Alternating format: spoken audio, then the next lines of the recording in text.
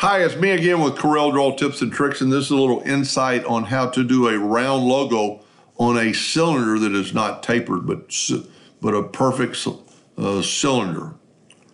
This piece of paper was cut out at 1.5 inches by 1.5 inches. It looks, it's getting close to an egg shape. This paper circle was cut out 1.5 by 1.361. And I think it actually looks more like a circle than it does. Uh, the lines are a little skewed from the piece of paper I drew it out on. So what I did, I took the glass bottle instead of you can't really, on this particular case, in a lot of bottles that have a rounded edge, you can't really measure it with a straight tape. I, I use these paper tapes from IKEA, so I'm at eight, and you could use anything, a sewing tape, any kind of fabric type tape that would bend around. So I'm at eight, eight and three sixteenths. Well, we need to know what this circle is. So when you draw an ellipse,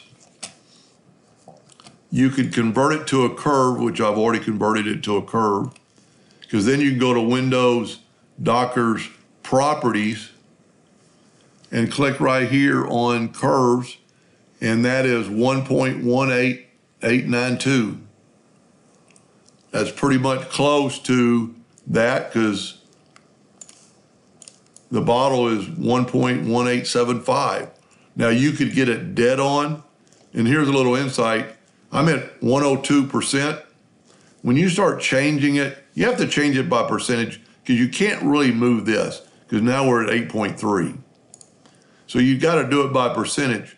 If you will do it, start over at a new percentage, you can take your Smart Fill tool, fill in that new shape, left click, right click. Now you're back at 100%. We need to convert it to a curve.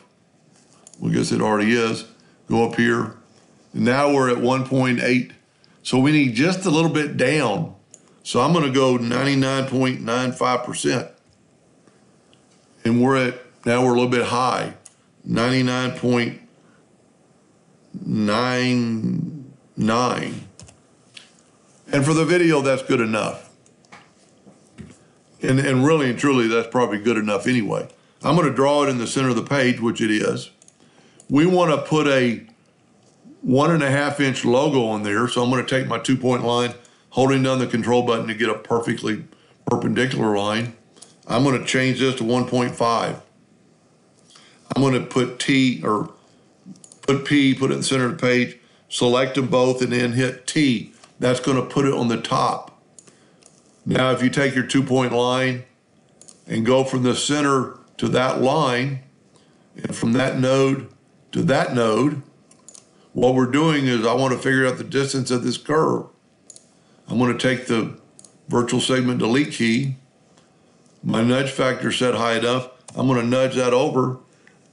Now this is one point, the length of the curve is 1.36133 but for the video, it's 1.361. So then all you have to do is take it. I did two circles as a test. You can see this one is 1.5 by 1.5. This one is 1.5 by 1.361. So it looks like an oval. But when you engrave it on the cup or on the cylinder, it should look more rounded. I truly hope that helped a little bit, and thank you for watching.